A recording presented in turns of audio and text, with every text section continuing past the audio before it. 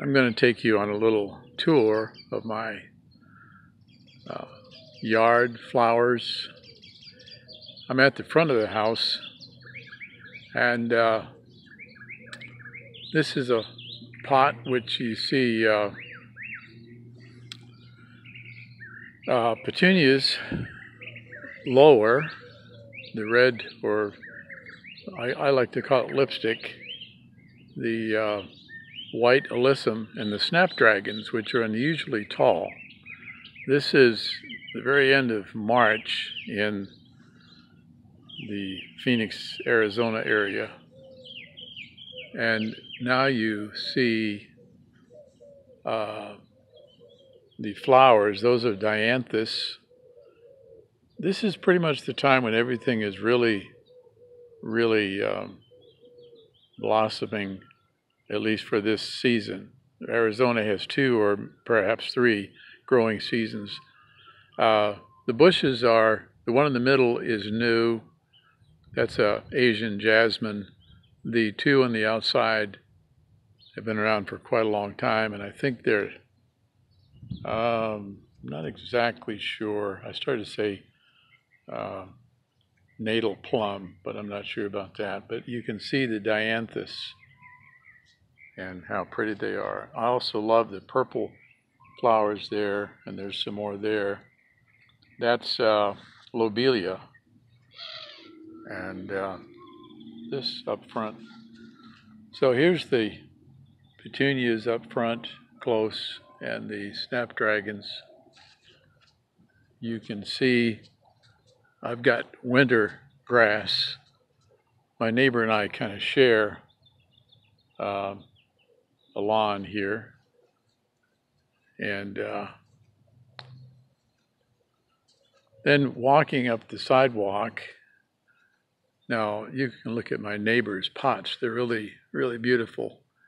Uh, I those are two bougainvillea bushes that I've just trimmed, and so they're they're going to be blooming for the summer. This is a uh, Italian palm tree that I've taken down and I'm going to take out. This right here is part of my pride and joy. That's a jasmine that will, in two or three weeks, be just full of blooms. And down here, you have some more of the red dianthus and the purple flowers that I love. This is, uh, uh, that bush is pretty common. I want to say elephant something. Uh, here's a bougainvillea that is growing on a trellis. Uh, this will show you how brilliant. These are just ground covers, more or less. This alyssum and the lobelia, two different types.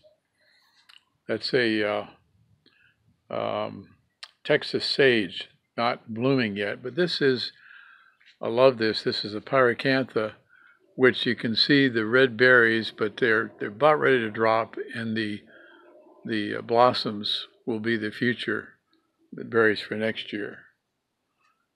Um, here's the walkway around to the backyard and more petunias, uh, more of those ground cover. And this in by the front door, that's a gardenia. There's some more of that uh, ground cover, and that is a uh, oh I can't think lavender. This is one of my favorite bushes. It's actually a, a, a dwarf myrtle. So looking down here, this is the young tree that's going to develop.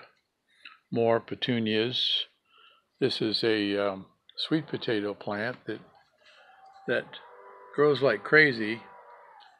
This is a young uh, boxwood bush that's going to cover that grate which hides our trash area. This is uh, double vines. I just put that, that green vine in, the top is, is uh, lantana. You can see some flowering. That'll just fill up. This is a hopseed bush that's now kind of a tree, and now we're getting into the backyard, and you can see all the petunias, the pink petunias, interspersed with alyssum.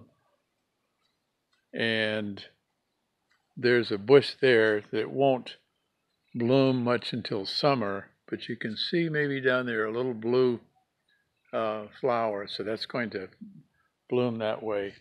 So here's my backyard, two storage sheds, and there's a, a lemon tree over in the corner. There's some more petunias. These are kind of my hedge bushes. And here's some more beautiful flowers again, the petunias and some different colors in this alyssum. More of that and azalea. Now, just a glance, this is my patio, which I've redone. Uh, you can see the wall that I I put up this spring. It was my COVID project. And look at the the little, I mean, look how profuse these petunias are. And then here's some flowers below that. Um, there's our little girl with the petunias. And that uh, bird bath in the back will be, um, will be summer uh, vinca growing out of that. But again, this is a picture of our patio and this is a bougainvillea that is just now starting to bloom and it'll be fully bloom. If you go this way, there's the orange tree, which is just now completing its budding. And if you get up really close, you can see that uh, lots of little would-be oranges. Now, they could never support all the oranges. So 80% of those will drop off, but there'll still, still be 100 or so oranges. And now here's another bougainvillea. And when this thing grows like crazy in the summer, it'll all be great big long branches dro drooping over the patio. Um, again, kind of a little raised garden bed here. And some more back there. This is kind of the alleyway, which is not very clean right now. But I do want to show you, this is what Joanne looks at looking out the window uh, from the kitchen. And uh, this is a hanging basket, again, petunias. And this is what we look at as we look out our bedroom window. And that's a uh, lantana, which is that brilliant color. So anyway, uh, lots of fun. This is another um, pyracantha. This pyracantha is about 25 years old, almost as old as the house. And you can see that the right now it has both the berries and the blossoms. The blossoms are new, the berries are old. They'll drop or the birds will get them. This is one of my favorite. It's it loves heat and cold. I've never seen a plant quite like this.